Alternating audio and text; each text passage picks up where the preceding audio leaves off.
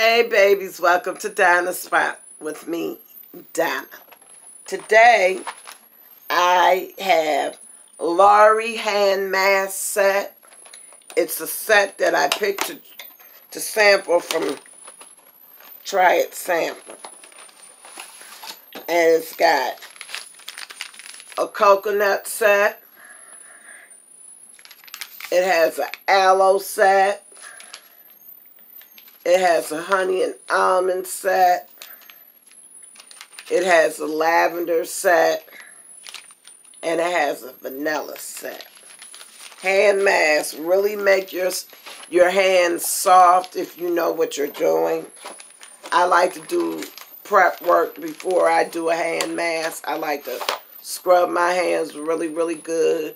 Scrub up under my nails really, really good what little I have